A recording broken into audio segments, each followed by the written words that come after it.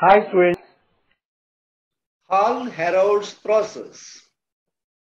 Aluminium metal is extracted by this process. Bauxite is taken. What is formula of bauxite? Al2O3 2H2O. This is changed into alumina, Al2O3. Alumina is Al2O3, aluminium is Al. Please understand the difference. Bauxite is changed into alumina. Alumina by Bayer's process, Hall's process or separate process. Adopt any type of process. Take this electrolytic cell for extraction of aluminium. Take alumina Al2O3 in this vessel. What is a cathode in that? Steel vessel acts like a cathode. Carbon rods placed in the electrolyte act as anode. What is electrolyte? Alumina, Al2O3. Any trouble in this process? Yes, there's a very big headache in the process. Al2O3 is a bad conductor of electricity. How to do electrolysis? Al2O3 is non-electrolyte. It is difficult to conduct the electrolysis. Moreover, another problem. Al2O3 has high melting points. It needs very high amount of heat. So, more electricity is required to melt it. How to melt it easily without wasting current? Cryolite. What is formula of cryolite? Na3Al6. This is added to alumina. What is the purpose?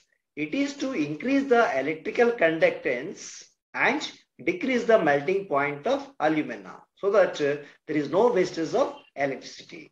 Moreover, little amount of fluorospar is added. What is formula of fluorospar? CaF2. This decreases the melting point of uh, alumina. Reaction mixer. Alumina plus cryolite plus fluorospar mixer is taken in the mixer. What is the ratio? 20 is to 40 is to 20. At what temperature? 900 degrees centigrade.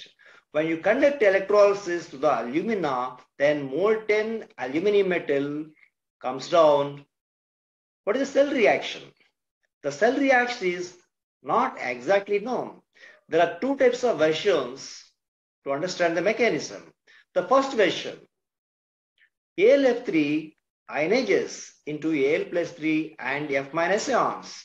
At cathode, aluminium is collected. At anode, what happens? Fluorine gas is collected. This is the net reaction. Here, oxygen is collected. Oxygen gas reacts with carbon forming carbon monoxide and carbon dioxide. This is second concept. Alumina ionages. How alumina ionages? It changes into aluminium ions and aluminate ions. At cathode, what happens? Aluminium ions take up the electrons forming aluminum metal. Overall reaction is this one. Let us meet in the next class. Thanks for watching. Drop a like, leave a comment and don't forget to subscribe.